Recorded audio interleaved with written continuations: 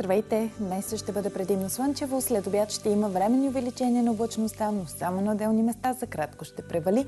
Ще духа слаб в източна България до умерен североисточен вятър. Край морето също ще бъде слънчево и топло с температури на въздуха и до 27-28 градуса.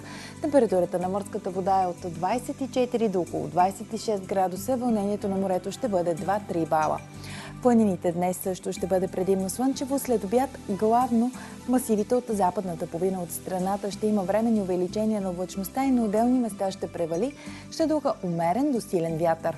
Над Пиринейския полуостров Днес ще е слънчево и топло над по-голямата част от Западна и Централна Европа.